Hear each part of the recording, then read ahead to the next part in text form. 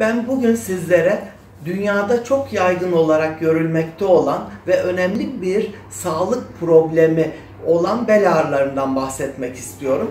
Bel ağrılarını önemli kılan aslında bel ağrısının bir hastalık değil bir bulgu olduğudur. Yani bel ağrısı yakınması ile bize başvuran hastada e, bizim öncelikle bunun nedenini teşhis etmemiz gerekmektedir. E, bu rahatsızlıklar içinde çok ciddi hayati önemi olan hastalıklar bel ağrısı şeklinde karşımıza çıkabilmektedir. Örneğin bel omurgası ve omurilik çevresindeki tümörler bel ağrısına yol açabilir. Başka organlarda kanserlerin yayılması bel ağrısı olarak karşımıza gelebilir. Yine iç organlardan kaynaklı örneğin karaciğer hastalığı, böbrek hastalıkları, rahim, yumurtalık hastalıkları, pankreas hastalığı karşımıza bel ağrısıyla gelebilmektedir. Yine karın içerisindeki damar genişlemesi ki e, erken teşhis edilmesi hayati önemi vardır bunun da. Bel ağrısıyla gelebilir hasta bize.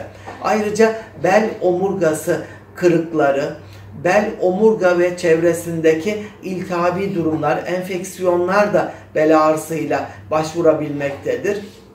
Yine bir takım romatizmal hastalıklarında e, belirtisi ilk belirtilerde bel ağrısı olabilmektedir. Bunların da ayrımının iyi yapılması gerekmektedir.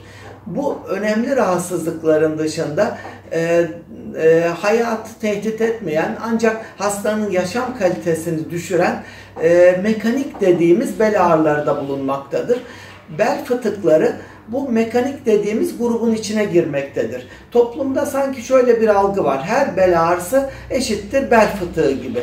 Halbuki sanıldığının aksine bel fıtıkları aslında bel ağrılarının çok az bir kısmını oluşturmaktadır ve bunların da sanıldığının aksine çok az bir kısmı ancak ameliyat gerektirmektedir.